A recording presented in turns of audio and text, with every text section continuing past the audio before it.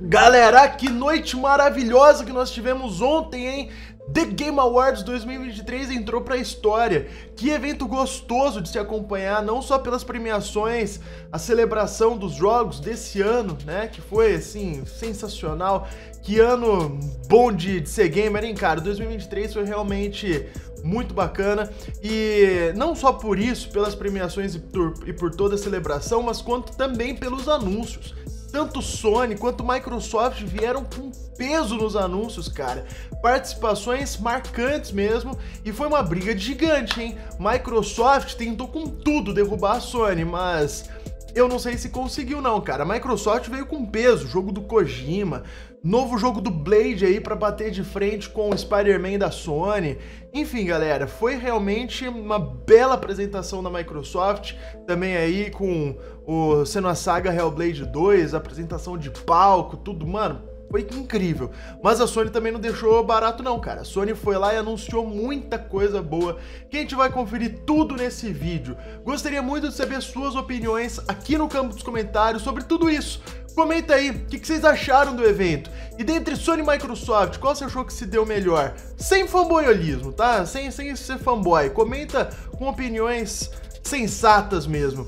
Vamos começar por uma das maiores surpresas do evento, na minha opinião.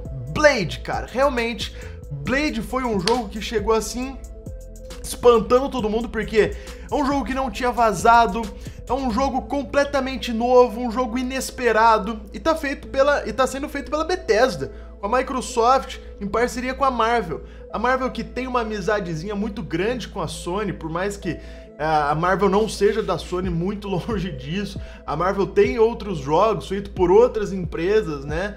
Como Crysis Dynamics com o jogo dos Vingadores, EA fazendo o Homem de Ferro, é, Pantera Negra, enfim, né? A Marvel não tem nada a ver com a Sony, mas ela é muito lembrada pelo Marvel's Spider-Man 2. Spider-Man, né? No modo geral, Miles Morales e tudo. E Agora a Microsoft veio para combater a Marvel na Sony com o jogo do Blade, cara. E foi maravilhoso, cara. Apesar de ter sido um trailer cinematográfico, não foram cenas gameplay, é um jogo que me interessa muito, porque a Arkane é um estúdio que eu gosto bastante. A Arkane, o último jogo que eles fizeram aí, pelo que eu me lembro, foi o Deathloop, e por mais que não tenha ganhado tanto público, fez Dishonored também, óbvio, né?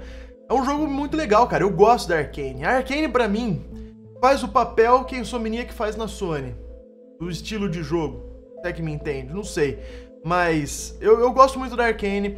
Fico feliz desse projeto ter caído na mão deles e não na mão de outra desenvolvedora dentro da Microsoft. E assim, é, essa daqui é apenas uma participaçãozinha da Microsoft no evento.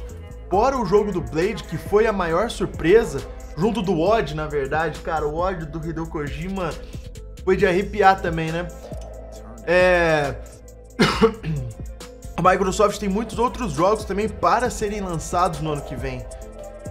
O próprio Fable que não apareceu.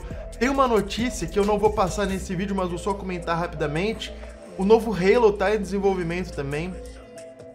Provavelmente por trás das cortinas, talvez um novo Gears está sendo feito. Enfim, cara, a Microsoft vai colher os, ela tá plantando, ela vai colher os frutos mais para frente com essa bagatela de jogo aí que ela tá anunciando. Então, fico feliz, cara, na boa, muito legal, jogo do Blade, é, contrariando todas as expectativas aí.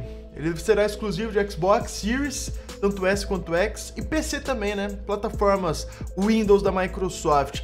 Também foi apresentado o Odd, do Hideo Kojima, jogo feito em parceria com a Microsoft, utilizando a tecnologia da própria Xbox Game Studios, tecnologia de nuvem, cloud. E esse jogo, cara, Hideo Kojima é, é o gênio, né, mano? É o mestre Hideo Kojima apresentando mais uma baita obra de arte, mano. E os aspectos técnicos, cara. Isso daqui é tudo em game, sabe? É, olha a qualidade dessa recriação na expressão facial, mano. Isso daqui é lindo demais, cara.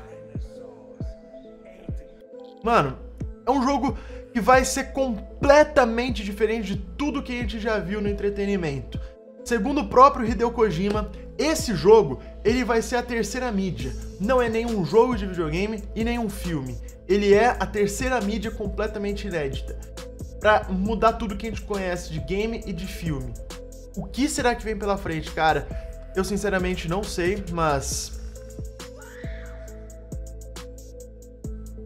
Realmente, essa daqui foi, foi minha, minha reação aí pra esse trailer, cara. Lindo demais, muito bacana, sendo feito em parceria com a Microsoft. Esse que foi um dos grandes anúncios do evento, sem sombra de dúvidas.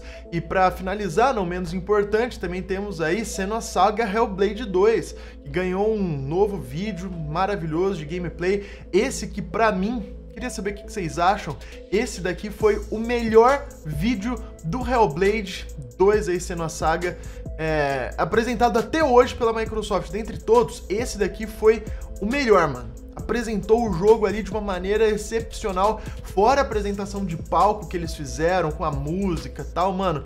Quem assistiu ao vivo aí o evento se impressionou muito, mano. Realmente, a Ninja Theory e a Microsoft vão vir com tudo nesse sendo a saga Hellblade 2 aí.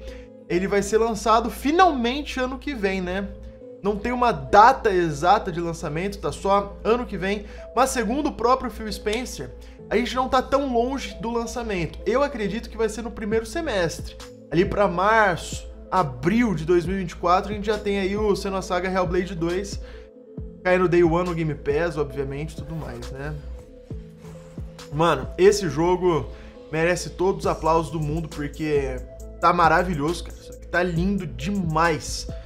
Comenta aí o que vocês acham. E aí você fala, pô, mano, a Microsoft destroçou a Sony, né? Vendo todas essas notícias, todos esses jogos, todas essas surpresas, a Sony não, não deu pra fazer nada. Aí que você se engana, cara. O evento foi tão bom que a Sony não deixou a Microsoft pisar nela, não. E veio anunciando coisas gigantes, coisas maravilhosas. Próprio The Last, é, The Last of Us, ó, eu tô com The Last of Us na cabeça, não sei porquê. Próprio God of War Ragnarok Valhalla, a DLC roguelite gratuita, trailer incrível. Esse jogo, cara, pegou todo mundo de surpresa. E foi bem no comecinho da apresentação. Então, tipo, mano, é o que eu tô pensando, é o que eu tô pensando, e aparece o Cleitão ali. Isso daqui, cara, foi de arrepiar cenas capturadas no próprio PlayStation 5. Embarque com Kratos em Valhalla, em uma jornada profundamente pessoal e reflexiva em direção a um futuro que ele nunca imaginou ser possível. Domine desafios de mente e corpo em uma aventura que combina o adorado combate God of War Ragnarok com novos elementos inspirados no gênero roguelite. Cara, demais, demais, demais, demais. Aí, cara, realmente espantou todo mundo e o melhor, né?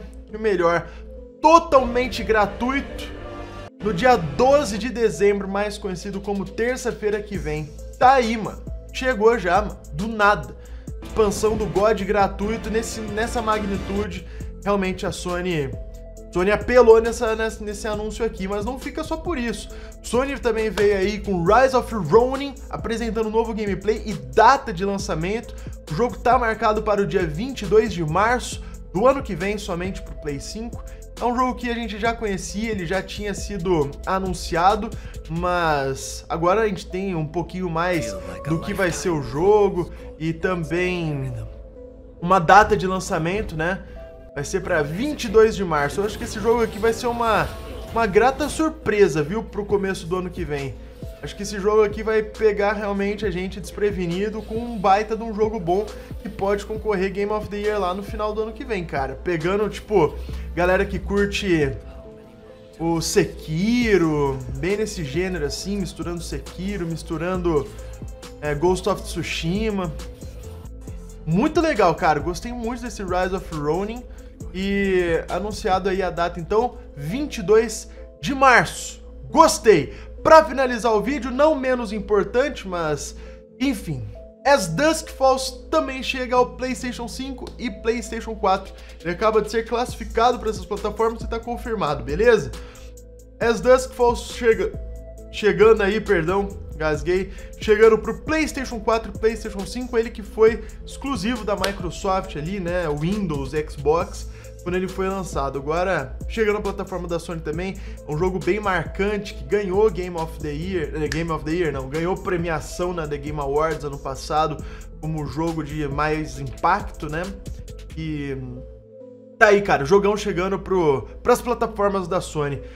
Comenta nos comentários o que vocês acharam. Sei que esse vídeo aqui foi uma enxurrada de informação, mas acho necessário porque realmente foi uma briga extremamente boa entre Sony e Microsoft na noite de ontem, cara. É isso que eu gosto de ver. É nóis, gente. Ficando por aqui, hein? Valeu!